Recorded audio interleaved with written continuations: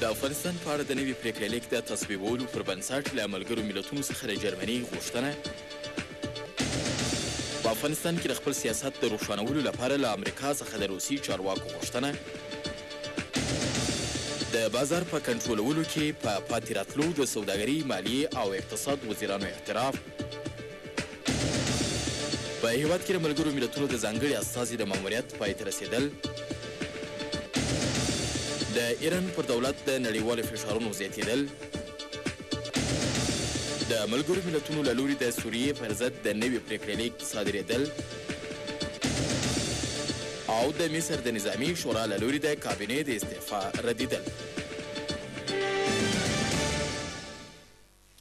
د سلام په وړاندې کولو سره ستاسو پام رااړوم له افغان نیوز څخه د دې مهال خبري سرویس ته. ویاند رزمل زمن جرمني غوښتنه کړې چې ملګري ملتونو دې د افغانستان په اړه یو ځانګړی پریکړه لیک تصویب کړي. دغه پریکړه لیک له مخې به د افغانستان د خپلواکۍ او ملي حاکمیت په شمول د افغانستان د ټولو چارو بشپړ مسولیت افغان حکومت ته سپارل کېږي.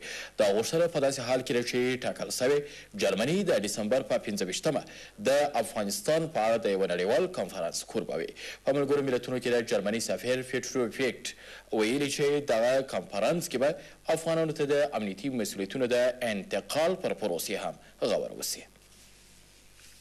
په ملګرو ملتونو کې د جرمني سفیر پیټر ویټنګ ویل چې په دې کنفرانس کې به چې جرمني چارواکي تر ټولو لویه غونډه بولي په افغانستان کې د امنیتي چارو د انتقال پر پروسې هم غور وشي. ښاغلي ویټګ ویل چې د بن په کنفرانس کې د ګډون لپاره به د ملګرو ملتونو د پلاوي مشري سرمنشي بان کي مون وکړي. ویټګ ویلي چې د ملګرو ملتونو پریکړه لیک به په افغانستان کې د نړیوالې ټولنې عملیاتي ظرفیت زیات کړي. اروپايي اتحادیې په دې برخه کې د ملګرو ملتونو له لوري د پریکړه لیک د تصویبیدو ملاتړ کړی دی. د ولسمشر کرزي په مشرۍ د افغانستان حکومت د امنیتي چارو د مسؤلیتونو منلو ته ځان تیار کړی دی. خو په اوسنیو شرایطو کې دا ناممکنه ده، ځکه چې دلته د امنیت د شورا د پرېکړې سره سم د ناټو قواوې راغلي دي او د هغو قواوو ماموریت تر دوه زره څوارلس کال پورې همدلته شته. د دوه زره څوارلس کال نه وروسته امکانات د دې شته چې شورای امنیت د افغانستان په مورد باندې پریکړه وکوي او یو تصمیم ونیسي نو زه زه فکر کوم چې ناټو قواوې او شورای امنیت دا ځلې افغانستان یوازې نه پریږدي. ما میخواهیم رئیس جمهور در مجموع همه ابعاد مملکت را درک کند بدون مداخلات خارجی و آثار از بقایای آن در گوشه گوشه و مد نخواهی استاد. د افغانستان حکومت د مسوولیتونو د انتقال په لومړۍ مرحله کې د درو ولایتونو لکه پنجشېر، بامیان او کابل او څلورو ښارونو لکه لښکرګاه، مزار شریف، مهترلام او هرات د امنیتي چارو مسوولیت پر غاړه واخیست. ټاکل شوې چې ولسمشر کرزی د ستانبول په درې اړخیزه غونډه کې د اوولس نورو سیمو نومونه اعلان کړي، خو وروسته وویل شول چې د دغو اوولس سیمو چې په بل پړاو کې یې امنیتي مسوولیتونه افغانانو ته سپارل کېږي په دودیزه لویه جرګه کې اعلان شي، خو تر اوسه پورې په ناڅرګندو علتونو د دوهمې مرحلې اعلان ځنډېدلی دی. روسیه غواړي چې امریکا په افغانستان کې د خپل نظامي شتون په اړه تګلاره روښانه کړي. د دې هېواد د بهرنیو چارو وزیر سرګي لاروف وايي چې کرملین د امریکا له هغو سیاستونو سره ستونزه لري چې له یوې خوا غواړي تر دوه زره څوارلس کال له افغانستان څخه خپل ځواکونه وباسي او بله خوا په دې هېواد کې د دایمي نظامي اډو غوښتنه کوي. د روسیې د بهرنیو چارو وزیر ویلي چې د امریکا دغه سیاست کاملا متناقض دی او واشنګټن باید په دې اړه توضیحات ورکړي. د مالي، سوداګرۍ او اقتصاد وزیرانو د بازار په کنټرول کې خپله ناکامي په ډاګه کړه. دغه وزیران د سې شنبې په ورځ دویم ځل لپاره د ګازو د بیې لوړېدو په اړه د ولسي جرګې استجوابیه غونډې ته غوښتل شوي وو. د مالي او اقتصاد وزیرانو د ولسي جرګې غونډې ته وویل چې په بازار کې د بیو د کنټرول هېڅ ډول مسوولیت نه لري. دغو وزیرانو د ازاد بازار پر اقتصاد نیوکه کړې او زیاته کړې ده چې افغانستان اقتصادي پالیسي نه لري او سوداګر له دغې تشې ناوړه ګټه اخلي.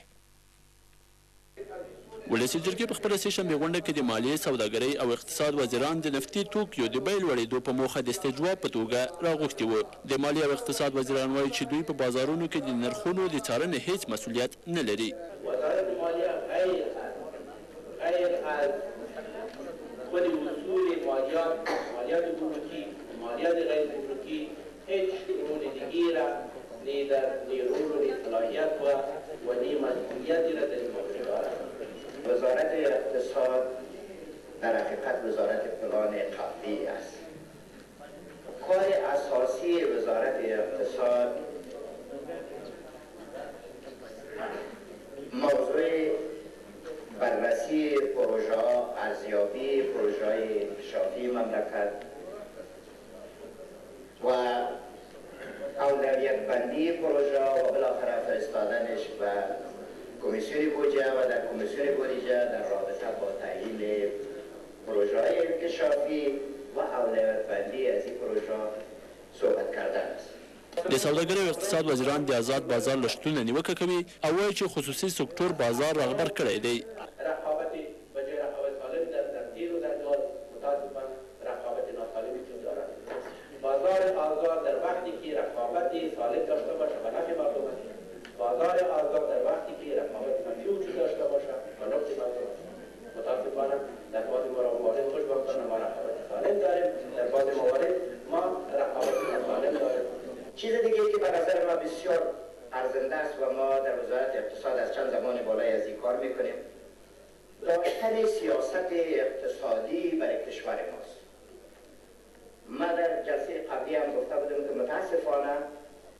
ما یک سیاست اقتصادی که کشور به یک جهت خاص حرکت بکرد و تمام ارگانهای مربوط دولت افغانستان در مطابقت با او اجراات خود انجام بده وجود نداشته.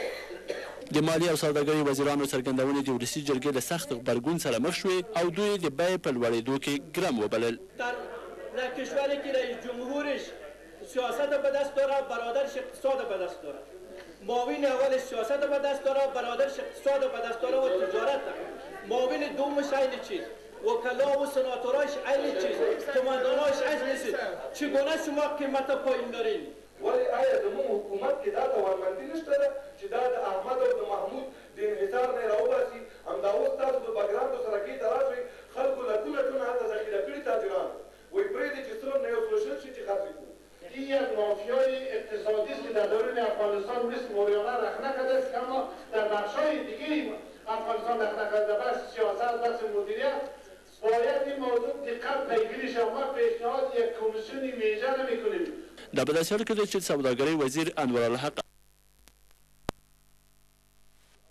توګه دې د خصوصي سکټور د احتکار او انحصار لاس ور لنډ کړي. نوموړی خبرداری ورکوي چې که خصوصي سکټور خپلو دغو کړنو ته دوام ورکړي نو حکومت به هم له خپل زوره کار واخلي. ملګري ملتونه غواړي افغانستان ته نوی ځانګړی استازی واستوي. د ملګرو ملتونو عمومي منشي بان کي مون له افغان ولسمشر حامد کرزي سره په ټلیفوني خبرو کې د لویې جرګې بریالۍ ترسره کېدنه ستایلې او ویلي دي چې د سټیفن دې میستورا د ماموریت وخت پای ته رسېدونکی دی. بان کي مون په افغانستان کې د ملګرو ملتونو د نوي ځانګړي استازي د معرفي کولو په اړه له افغانستان سره سلا مشوره کړې ده. کارپوهان په دې آند دي چې په افغانستان کې د ملګرو ملتونو استازو د افغانستان لپاره کم خو د ځان لپاره زیات کارونه کړي دي.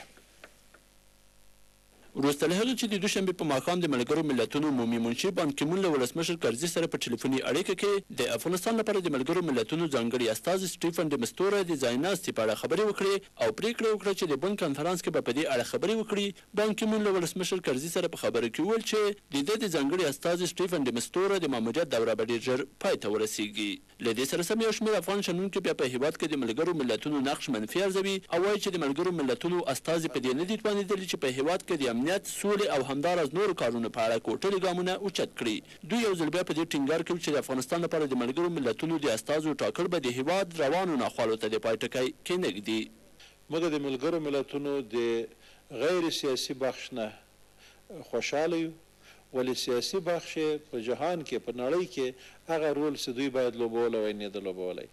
وضاحت مشاهده میکنیم که نمایندګیای سیاسی د ملل متحد در افغانستان هیچ نوع موثریت خاص در جهت تامین منافع ملی افغانستان، در جهت دفاع از استقلال سیاسی افغانستان، در جهت دفاع از تمامیت ارضی افغانستان، حتی در عرضه های در عرصه های خدمات اجتماعی بر ملت افغانستان، بناء نمایندګی سیاسی که در افغانستان احداث میشه یا ولو فرمایشی باشه ولو تحمیلی باشه هیچ نوع موثریت از وقتی که محمود مستری و بیننسوان فعالیتهای ناکامش در جهت تشدد و جنگ آغاز کردند تا امروز موثریتش بر ملت افغانستان هیچ چیز نبوده.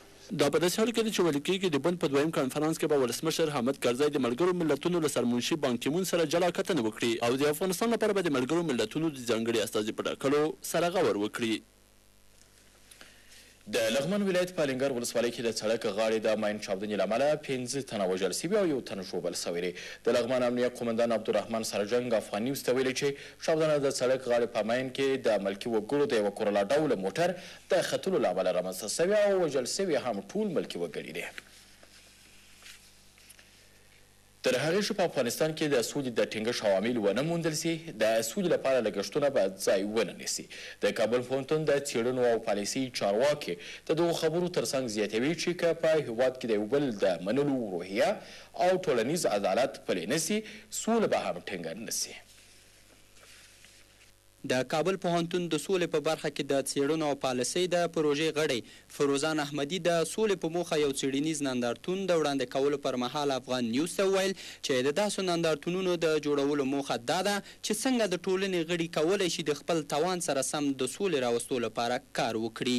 هدفشون این بود که ذهن اونها را هدف ذهن و خواست اونها را تغییر بدن که اونها میتوانند غیر از اینکه رو بیارن به مافیای مواد مخدر و اینکه اسلحه به دست بگیرن ترس و وحشت ایجاد بکنن میتوانند از راه دیگه طرفدار ایجاد بر خودشان جذب بکنن. همدارنګه د دغو نندارتون ګډون کوونکیو وویل، تر هغې چې په هېواد کې د سولې راوستو عمده عوامل ونه پېژندل شي، نو په افغانستان کې به په دې اړه هر نوع لګښت او هڅې بې ځایه وي.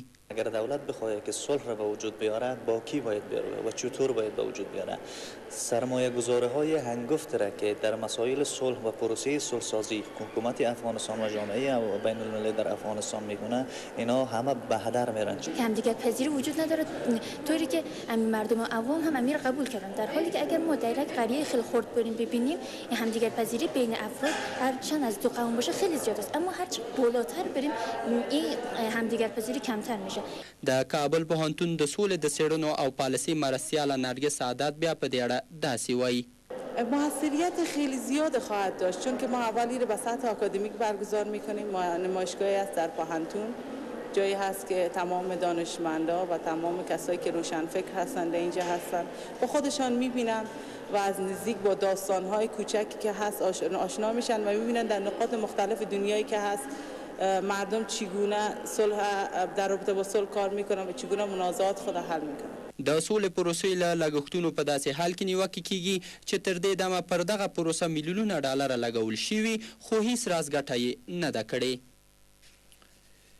د پوهنې وزارت په هېواد کې د سواد د کچې لوړولو لپاره یو دوه کلن پروګرام تر لاس لاندې نیولی چې له مخې به یې د هېواد په اتلس ولایتونو کې کابو دوه زره تنه د سواد له نعمت څخه برخمن شي. د پوهنې وزارت د سواد د زده کړې مرستیال سرور حسیني پر دغو خبرو سربېره زیاتوي چې د همدې پروګرام له لارې یې تېر کال درې زره تنو ته سواد ورزده کړی دی. تایید سال از طریق امی برنامه خاص که برنامه ایلی است یا ارتقای سواد در افغانستان است در حدود 300 هزار نفر سواد آموز مستفید شدن از برنامه در 18 ولایت کشور و قرار است که در امسال باز هم 200 هزار نفر با در ماه دسامبر تحت پوشش بگیریم از طریق این برنامه مهم کورني خبرونه مو همدومره وه څو شېبې وروسته به د نړۍ څو مهم خبرونه درته وړاندې شي ملتیا مو وکړئ.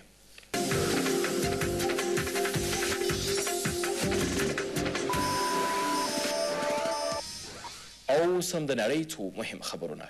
متحده ایالاتو او د هغه لویدیځو شریکانو په ګډه د ایران پر بانکي نظام، نفتو او ګازو پر سکټورونو د نوو بندیزونو د لګولو له لارې پر دغه هېواد فشارونه نور هم زیات کړي دي. د ایران د بهرنیو چارو وزارت دغه بندیزونه بې ځایه ګڼلي او ویلي دي چې دا به د ایران پر اقتصاد هیڅ راز اغیزه ونه کړي. دغه بندیزونه وروسته له هغې لګول کیږي چې د اټومي انرژۍ نړیوال اژانس ایران د اټومي وسلو په جوړولو تورن کړ. روسیې له دغو نوو بندیزونو سره مخالفت کړی او هغه یې د منلو وړ نه دي بللي.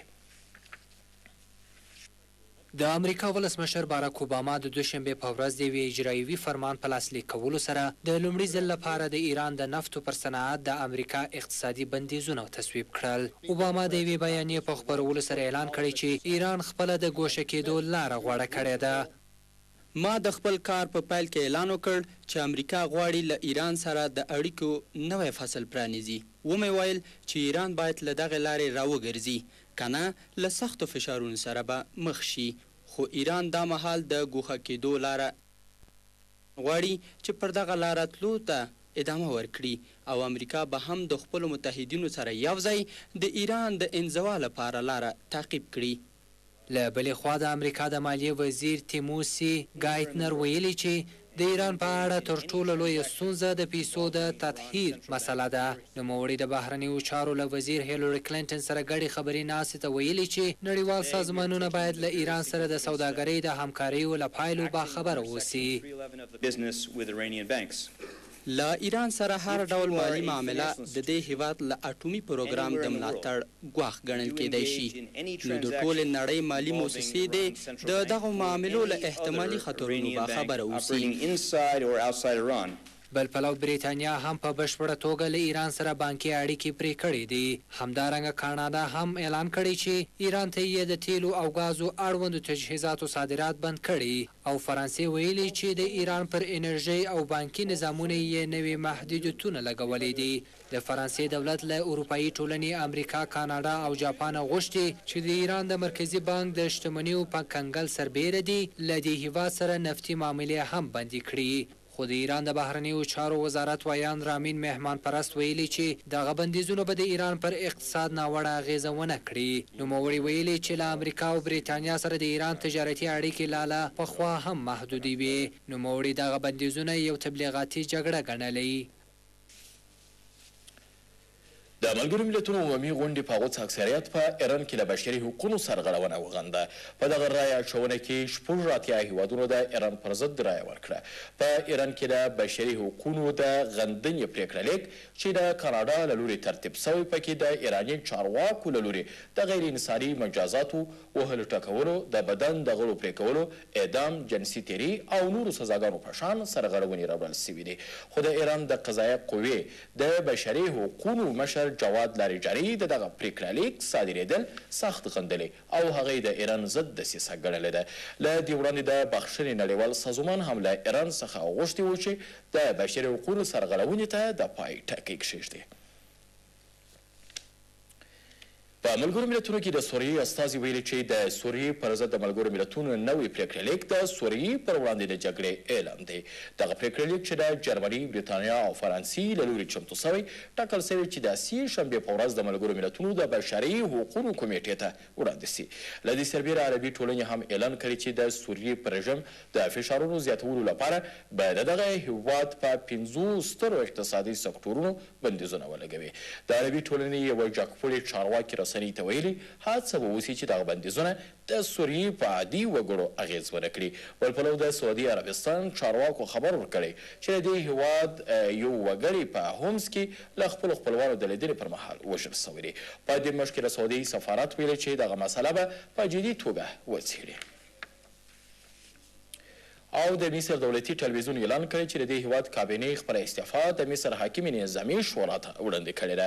وروستي راپورونه وایي چې د مصر واکمنې نظامي شورا د کابینې استعفا رد کړې ده. که څه هم مصري چارواکو د دغې ډلې ییزې استعفا د انګېزې په اړه څه نه دي ویلي، خو دغه لوی اقدام وروسته له هغه کېږي چې په تحریر ډګر کې د لاریون کوونکو امنیتي ځواکونو ترمنځ په نښتو کې ګڼ شمېر کسان ووژل شوه.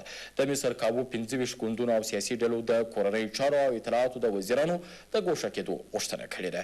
د فرض سیال کیره چې د بخښنې نړیوال سازمان هم د مصر پر نظامي چارواکو سختې نیوکې کړې دي، دغه سازمان په خپره کړې بیانیه کې ویلي چې د مصر نظامي شورا په خپلو کړو ژمنو کې پاتې راغلې.